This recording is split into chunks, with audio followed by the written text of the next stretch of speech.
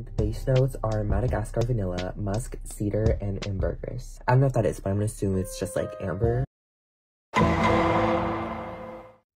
Hey guys, welcome back to my channel. So I have a bit of a different video today. I'm actually going to be talking about something that was a relatively new discovery to me. I don't know if this is like super common knowledge within the community, but like I personally had no idea and was very, you know, intrigued when I kind of learned more about this. Today we are going to be talking about ambergris. If you guys are new to my channel, make sure to smash that subscribe button and if you are not new. Thank you for being here and make sure that you are subscribed.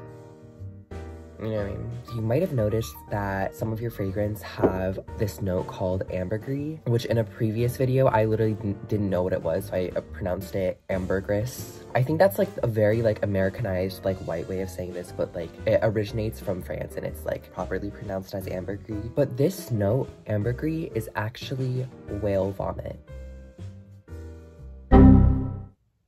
How ambergris formed is that it comes from sperm whales. In the abdomen of sperm whales, they have this chemical called ambrein. This basically helps them digest their food. So then like the sharper parts of their prey that is like very difficult to digest, like the beaks of like squids, the ambrein protects their internal organs. So typically before the digestion process actually occurs, the whales just like throw up everything that they can't digest. But sometimes on a rare occasion, the indigestible parts actually bind together and the ambrein combines with that to form a solid mass, which we now know today as ambergris. After many years, the sperm whale, you know, has that like mass growing inside of them and they eventually throw it up. And then so it kind of just floats in the ocean. Keep in mind that this is like super, super rare, which is why ambergris is so valuable because the process in itself is already very rare. And also like there aren't that many sperm whales. So ambergris has always been a very highly sought after material material in Moby Dick by Herman Melville, which was written in 1851. There's a line in the book where he describes the corpse of a whale smelling like a faint stream of perfume. Even in kind of like classic literature, you know, ambergris kind of like referenced. And so eventually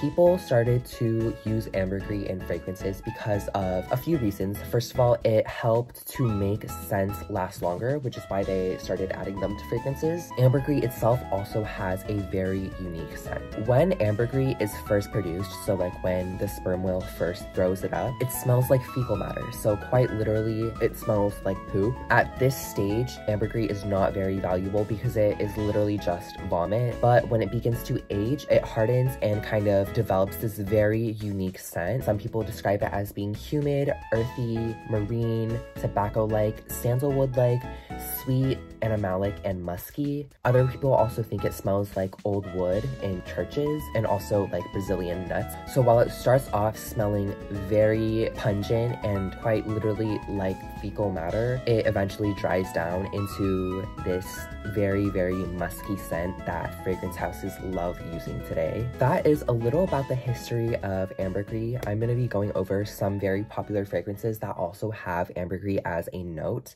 So if you have smelled any of these or own any of them, then you have smelled whale vomit. So some of the fragrances that have ambergris as a note include Yves Saint Laurent L'Homme, Le Labo Another 13, Tom Ford Oud Mineral, the very famous Baccarat Rouge 540, and the one that I own where I discovered ambergris for the very first time, Libre by Yves Saint Laurent. So another thing that I want to point out is because ambergris is such a scarce material, obviously, it is very uncommon for fragrance houses to actually like put whale vomit into their perfumes today. So what people do now is they actually synthetically create ambergris. While there is a very, very small chance that a perfume you own actually contains whale vomit, perfumers and labs have added chemically and synthetically created whale vomit as a note in your perfume. But also don't be, you know, daunted by that because again, ambergris smells, you know, kind of sweet, earthy, musky, a little bit spicy, and it's a very, very pleasant smell to people, which is why it became so popularized. That is a little about ambergris. And for me personally, honestly, I don't think I've had enough experiences with fragrances that have as a note, so I can't really tell you how it smells. But yeah, let me know if you guys have any fragrances with ambergris. I would really like to know how it smells to you I hope you learned something new today because I know I definitely did. And thank you so much for being here with me today. I hope to see you all soon.